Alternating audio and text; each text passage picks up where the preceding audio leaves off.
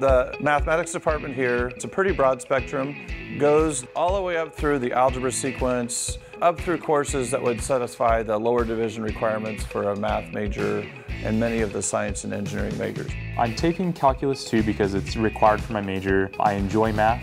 For my physics course, you have to use a lot of calculus. And then for my major, which is electrical engineering, I'm going to need math a lot.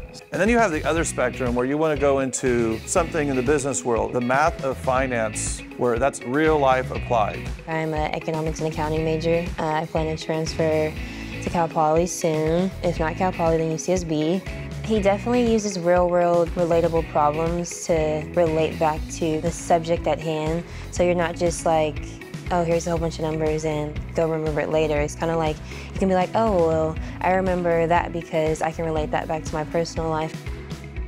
Once I've put in the time, it starts to really make sense. Even if you struggle a lot, once you start to understand it, it's, it pays off and it's rewarding. And it doesn't matter whether it's algebra or whether it's in the calculus sequence or anywhere in between. Uh, I want them to like learning. And then once they get to the point where they can trust me a little bit,